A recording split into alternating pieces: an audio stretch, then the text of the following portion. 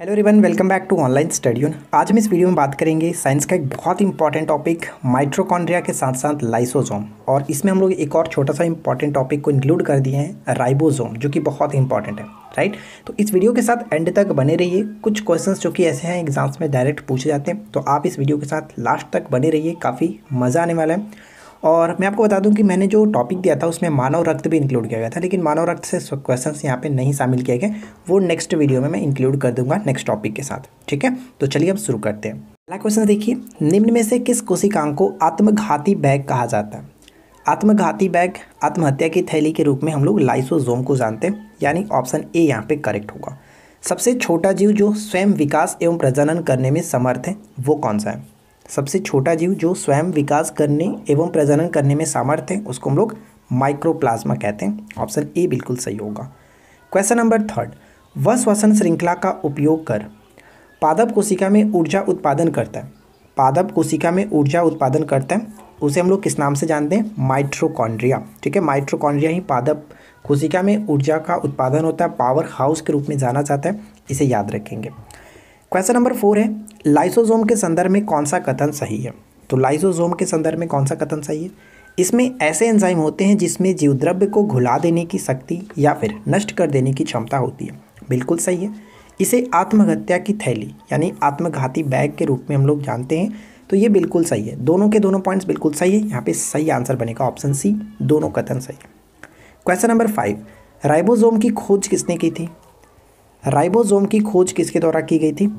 तो सही आंसर बनेगा पैलेड, ठीक है? पैलेड यहाँ पे बिल्कुल सही आंसर है, सी को टिक करेंगे। अगर आपको ये वीडियो पसंद आए तो प्लीज़ वीडियो को लाइक करें। आप लोग काफ़ी डिमांड करते थे कि साइंस के टॉपिक को कवर कराइए। तो देखिए, मेरे द्वारा एक्सपेक्टेड जो क्वेश्चंस है एक्सपेक्टेड जो टॉपिक है, मैं उस पर लेकर के चल रहा हूँ। और प्लीज़ आप लोग सपोर्ट करें और इस वीडियो को अपने फ्रेंड के साथ ही ज़रूर शेयर करें।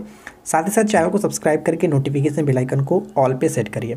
और आज के इस वीडियो का लाइक का टारगेट मैं रखता हूँ 650 लाइक्स का और मुझे यकीन है कि आप लोग ज़रूर इसको पूरा करेंगे। जो राइबोजोम गुच्छे में मिलते हैं, उन्हें पॉली राइबोजोम या फिर पॉलीजोम कहलाते हैं। तो यह संरचना जो थी किसकी बनी होती है? पॉलीजोम किसकी बनी होती है? ये संरचना किसकी बनी होती है? ऑप्शन सी को टिक करेंगे। सॉरी ऑप्शन बी यहाँ पे करेक्ट होगा, यानी कि आरएनए और प्रोटीन की बनी होती है, ठीक है? प्रोटीन और आरएनए की बनी होती है तो राइट आंसर हो जाएगा ऑप्शन हम बी को टिक करेंगे। चलिए नेक्स्ट वन क्या है? लाइसोसोम निम्नलिखित में से किससे रक्षा करता है? लाइसोसोम किससे रक्षा करता है? तो यहाँ पे ध्यान रखना है कि लाइजोसोम जो है वो दोनों से रक्षा करता है, विषाणु से भी और जीवाणु से, यानी कि बैक्टीरिया और वायरस दोनों से रक्षा करता है। तो ऑप्शन है डी को टिक करेंगे। आगे बढ़ते हैं। कोशिका झिल्ली किसकी बनी होती है? कोशिका झिल्ली किसकी बनी होती है? कोशिका झिल्ली प्रोटीन एवं लिपिड की बनी होती है। A will be right answer निम्न में से किस जीव कोशिका सिद्धांत का पालन नहीं करता? यानी कि कौन सा जो जीव है, वो कोशिका सिद्धांत का पालन नहीं करता कोशिका सिद्धांत किसने प्रस्तुत किया था? स्लाइडन और स्वान, आपको पता होगा।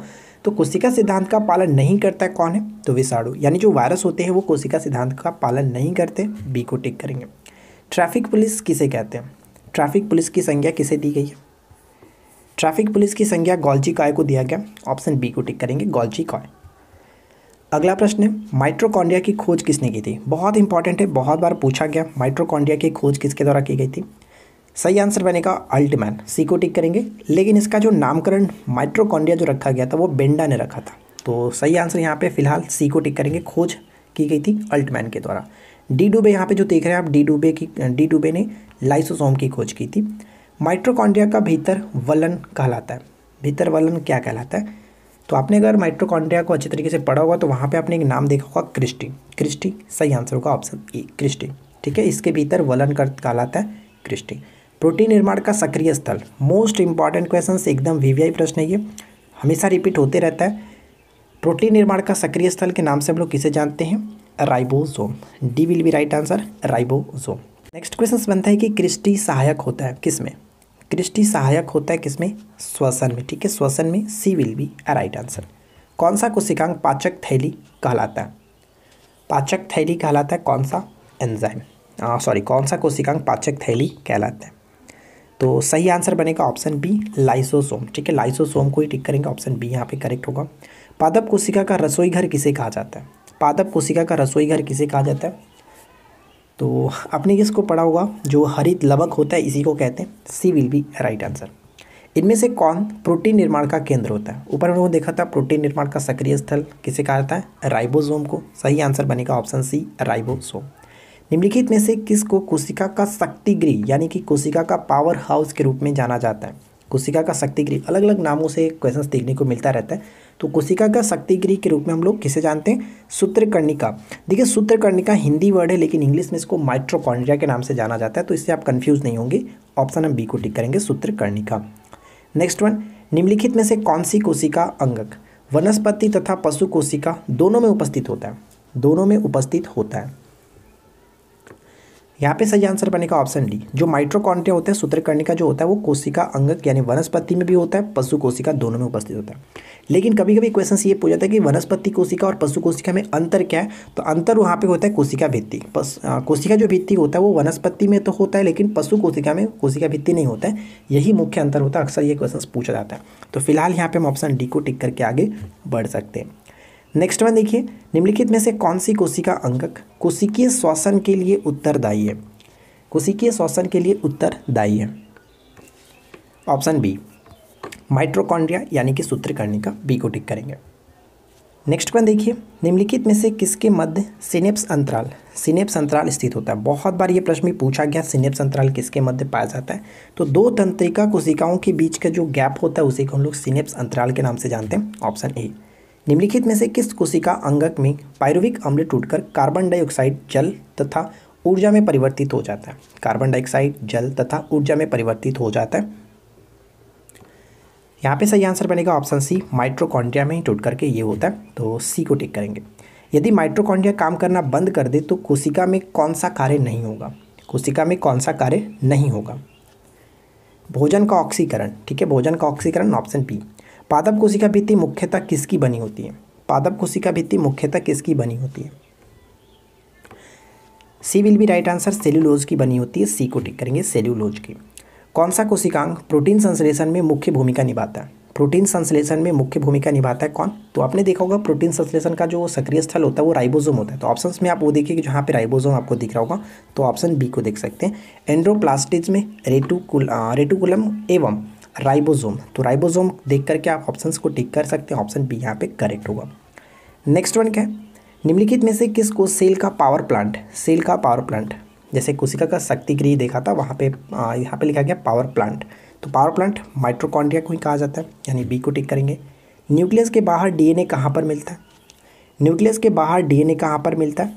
तो ये आपका माइट्रोकॉन्ड्रिया में मिलता है। सी को टिक करेंगे। ये सभी क्वेश्चंस बहुत इंपॉर्टेंट है डायरेक्ट पूछे जाने के चांसेस है, बहुत एक्सपेक्टेड है, आप इनको अच्छे से याद रखेंगे। निम्न में से किस कोशिकांग को एटम बम कहा जाता है? किस कोशिकांग को एटम बम के नाम से जाना जाता है? Lysosome C will be right answer lysosome जीवाणु कोशिका में सूत्रकर्णिका की संख्या बताइए। जीवाणु कोशिका में सूत्रकर्णिका की संख्या बताइए। तो ध्यान रखेंगे, जीवाणु में कोई भी माइट्रोकॉन्ड्रिया नहीं होता है, शून्य होता है, ठीक है? शून्य होता है, यानी कि डी को टिक करेंगे। नेक्स्ट वन क्या करें कि जीवाणुविक कोशिकाओं में नहीं होता है। जस्ट अभी बात किया कि जीवाणु कोशिकाओं में सूत्रकर्णिका यानी माइट्रोकॉन्डिया नहीं होता है, शून्य होता है तो सी को टिक करेंगे, सूत्रकर्णिका नहीं होता है। ठीक है? चलिए, अगला क्वेश्चन अब आपके लिए एक छोटा सा क्यूज का क्वेश्चन है, दो क्वेश्चन है, पहला क्वेश्चन ये और दूसरा क्वेश्चन ये। पहला क्वेश्चन ये कह रहा है कि प्रोटीन संश्लेषण का प्लेटफॉर्म किसे कहते हैं? प्रोटीन संश्लेषण का प्लेटफॉर्म किसे कहते हैं? पहला क्वेश्चन थर्टी वन लिख करके आप राइट आंसर बताएँगे, क्या होगा? ए बी सी नहीं लिखना है, आपको पूरा नाम लिखना है, ताकि समझ में आए, ठीक है? और उसी तरह से सेकेंड क्वेश्चन है कि वसा का संचय। वसा का संचय कोशिका के कौन सा अंग करता है? तो मैं आपको इसका राइट आंसर बताता हूँ। वसा का संचय जो कोशिका का कौन सा अंग करता है तो राइट आंसर बनेगा गोल्जी का ठीक है? गोल्जी का यहाँ पे राइट आंसर बनेगा। तो देखिए फ्रेंड्स उम्मीद करते हैं कि आप लोगों को ये थर्टी टू क्वेश्चन बहुत अच्छे लगे होंगे वीडियो पसंद आई होगी। वीडियो अच्छी लगी हो तो प्लीज़ वीडियो को लाइक करें, दोस्तों के साथ शेयर करें। साथ ही साथ चैनल को सब्सक्राइब नहीं किया तो सब्सक्राइब करके नोटिफिकेशन बेलाइकन को ऑल पे सेट करके रखिए ताकि आने वाली वीडियो की नोटिफिकेशन आपको मिलती रहे। हम मिलते हैं नेक्स्ट क्लास में। Thanks for watching keep watching keep learning have a good day